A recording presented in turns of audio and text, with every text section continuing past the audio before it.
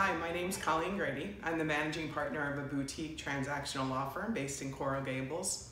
I've been a member of TCI for almost three years. And although I believe there's many opportunities for networking in South Florida, there's two things that really set TCI apart. The first is the content. Every program that you go to, you will leave learning something new. I think the content is very high level and very well presented at every event. And the second thing that sets TCI apart is it gives you the opportunity to build real relationships. Unlike traditional networking where it's just an exchange of business cards, at TCI, the types of events they offer give you the chance to build a relationship with other top women. And that gives you the chance to get to know them, to like them, to trust them, and eventually it leads to the building of business. Every event that I've gone to has been worthwhile, and I believe that TCI's return on investment is incredibly high.